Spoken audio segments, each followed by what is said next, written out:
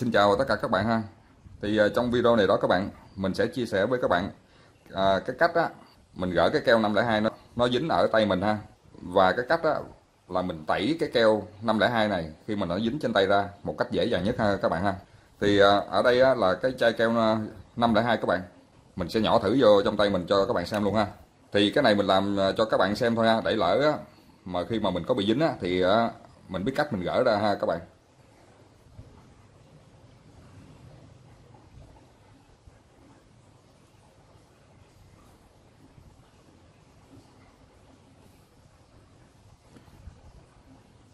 Rồi, sau khi mình nhỏ vô đó cái da tay mình nó bắt đầu nó dính lại rồi, các bạn ha.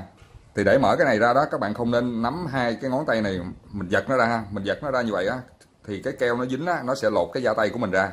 Rất là đau, rất là rát các bạn. Lúc này á, để mình muốn gỡ cái keo nó dính này ra đó, mình sẽ dùng nước các bạn. Mình cho nước đá vào, để cho nó nó lạnh đi ha. Thì sau khi cái nước này nó lạnh rồi á, mình sẽ nhúng cái tay này vô. Mục đích á, cái lạnh á là nó làm cho cái keo 502 nó giòn đi. Và lúc này á, mình sẽ nhích cái tay mình ra, nó sẽ ra từ từ.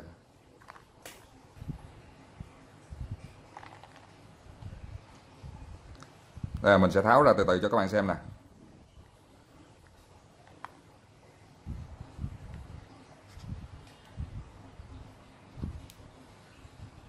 Mình sử dụng cái cách này đó các bạn. Nó rất là đơn giản ha. Khi nó dính về các bạn cho vô cái ly nước đá như vậy và mình sẽ tách nó ra từ từ. Đến một lúc nào đó nó sẽ xúc ra. Và tiếp theo, mình sẽ tẩy cái keo 502 này ha. Thì đầu tiên á, các bạn sẽ cho một ít nước nè. Và cái đến là muối ăn. Bây giờ mình sẽ múc, mình cho vô đây. Thì à, cái muối ăn này á, mình quậy với nước á. Đến khi mà nó nó đậm đặc nhất đó các bạn. Là được ha. Mình đừng có pha cho nó loãng quá. Và tiếp theo đó các bạn, mình sẽ ngâm hai cái ngón tay này vào đây, khoảng chừng 10 phút. Vừa ngâm á, các bạn vừa thoa, vừa chà lên cái chỗ vết keo nó dính ở trên tay của mình á. Mục đích cái nước muối này đó các bạn, là nó ăn cái keo và nó làm cho cái keo này nó mềm đi. Và mình sẽ lấy nó ra một cách dễ dàng hơn ha.